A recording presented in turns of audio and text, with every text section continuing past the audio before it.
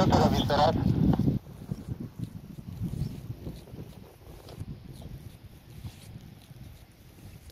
Za chwilę będę odstawiał auta.